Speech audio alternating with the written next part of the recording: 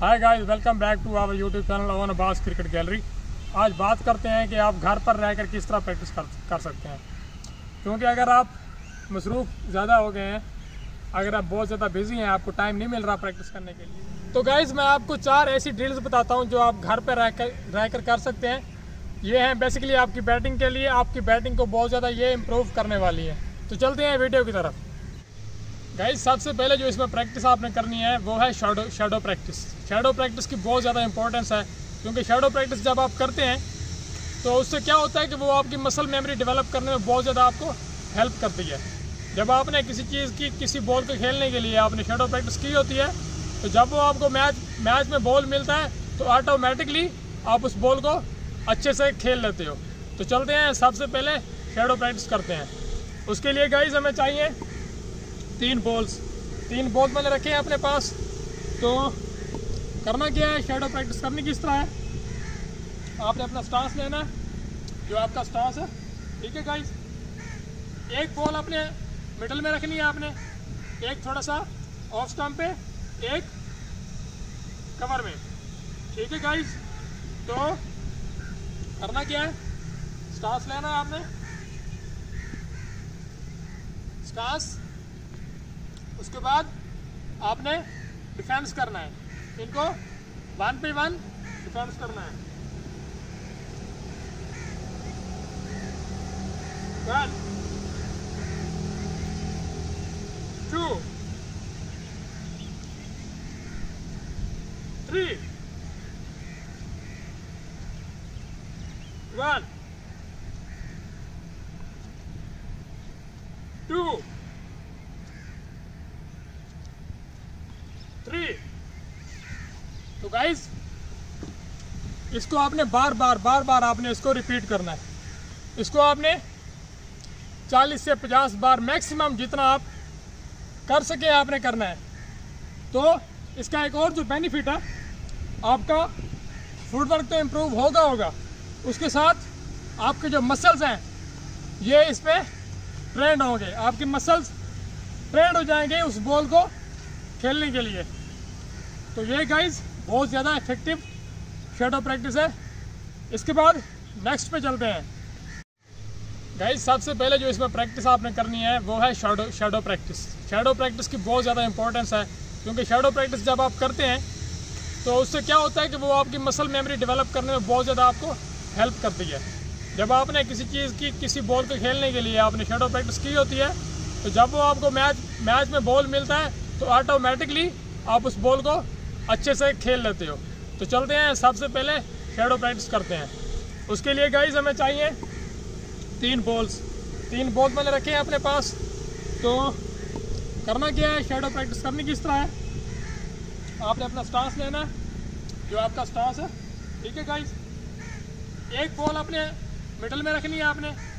एक थोड़ा सा ऑफ़ स्टम्प पे, एक कवर में। ठीक है गाइज़ तो करना क्या है? स्टार्स लेना है आपने? स्टार्स? उसके बाद आपने डिफेंस करना है। इनको वन पे वन डिफेंस करना है। One two three One. Two.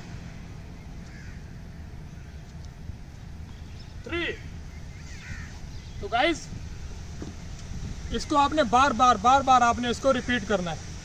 इसको आपने 40 से 50 बार मैक्सिमम जितना आप कर सके आपने करना है। तो इसका एक और जो बेनिफिट है, आपका फुटवर्क तो इम्प्रूव होगा होगा। उसके साथ आपके जो मसल्स हैं, ये इस पर ट्रेंड होंगे। आपके मसल्स ट्रेंड हो जाएँगे उस बॉल को खेलने के लिए। तो ये गाइज़ बहुत ज़्यादा इफ़ेक्टिव शेडो प्रैक्टिस है। इसके बाद नेक्स्ट पे चलते हैं।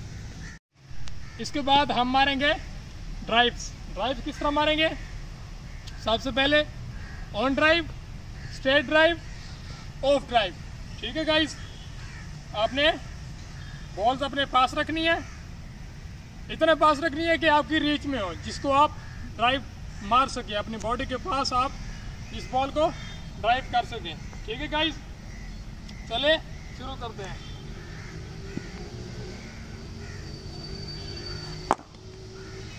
On drive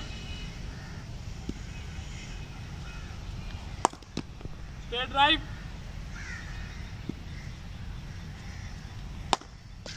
off drive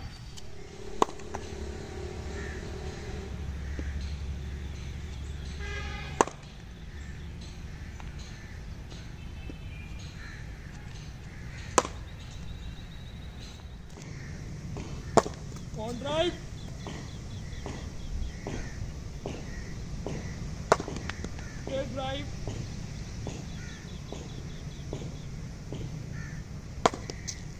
guys, इसके बाद जो थर्ड नंबर पर आपने ड्रिल करनी है, वो बहुत ही कमाल ड्रिल है। बहुत ज़बरदस्त, बहुत ज़्यादा आपको, आपकी बैटिंग को बहुत ज़्यादा इम्प्रूव करेगी। आपकी हेड पोजीशन बहुत ज़्यादा इम्प्रूव होगी उससे। और आपका अगर बैट का फेस अगर सही नहीं आता, अगर आप स्ट्रेट ड्राइव नहीं खेल पाते, सीधे बल्ले बल्ले से आप नहीं खेल पा रहे, आपको लाइन और लेंथ जज करने में अगर मुश्किल हो रही है तो उसके लिए ये बहुत ज़्यादा इफ़ेक्टिव ड्रिल है। करना क्या है आपने? एक बॉल लेनी है। ठीक है गाइज़ तो आपने इसको अपने यहाँ पर शोल्डर और चिन के दरमियान आपने इसको यहाँ पर रख लेना है। ठीक है? उसके बाद मैं सबसे पहले क्या करूँगा? ऑन ड्राइव खेलूँगा। ठीक है? इसी तरह फिर स्ट्रेट ड्राइव और ऑफ़ ड्राइव ठीक है गाइस आप मुझे देखें। On drive on drive straight drive off drive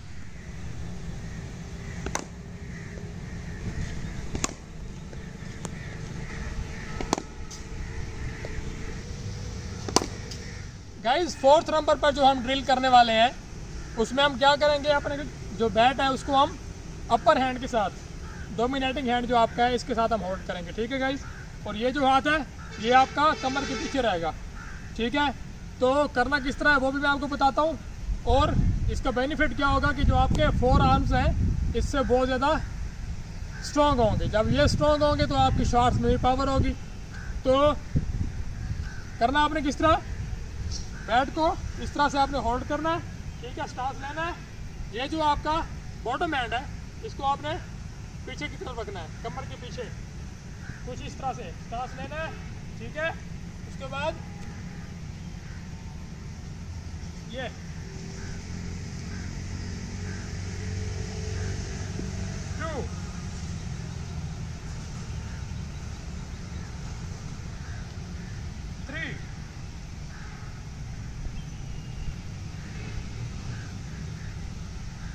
One.